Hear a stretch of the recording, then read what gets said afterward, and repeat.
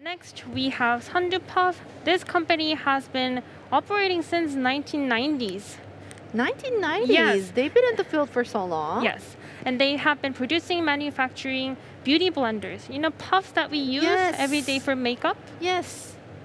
So they they are the puff company, and they have been exporting these to Estee Lauder, Olive Young, and other very famous makeup companies.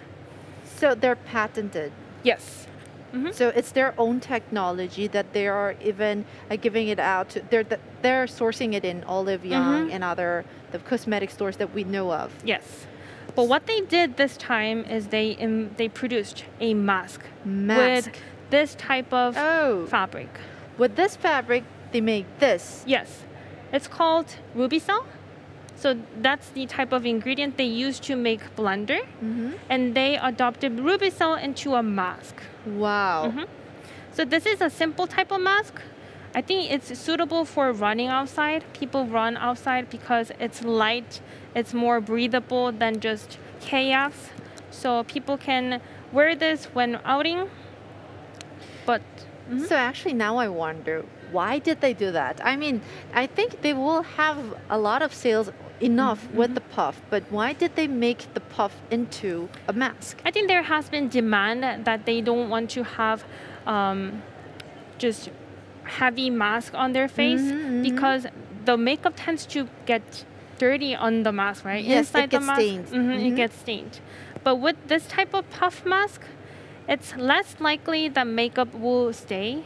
hmm And on top of that, since it's made with puff ingredients, like the makeup will stay better. Oh, the makeup stays better. Mhm. And now about the function, the important function of Mm. a mask is that it protects us from the fine dust and also from the viruses. Mhm. Does it also does the does the, the It does. It does. It, It does the has job. not been approved yet, Mhm. but technically it will do. Oh, Mm-hmm. so not approved yet, but it's getting the- process Yes. done. Yes. hmm So will it not only make sure that it doesn't, the cosmetics will not stay, but also it will protect from the virus, Mhm. and it will be accredited very Mhm. soon. Yes. Okay, so this is a mask made from the same material of the puff Mhm. that is being sourced to Olive Young and other kinds of cosmetic Mm-hmm. Wow, so I think people will be very interested into buying this kind of products. And so this was from the Sundoo Puff, but I- can see that there's another thing right here. What's yes. this? So if you're worried about just wearing this because it does not protect enough from your from the virus, Mhm.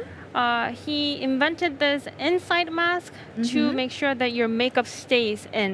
Oh.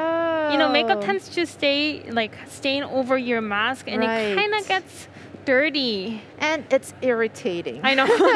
Because we have to, you know, uh, retouch ourselves every time. But with this puff inside, you don't have to worry about doing your makeup again because it will stay on. It will stay put on. It will be on Mhm. by this inside mask. Mhm. So um, you can wear this mask, or if you are, oh, and I can see that it's double layered. Yeah, it's double layer like this Uh-huh. or this.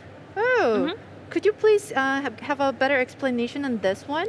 So he wanted to find a way to combine these two together and he invented this mask. So it's double layer of the puffs. Mm-hmm.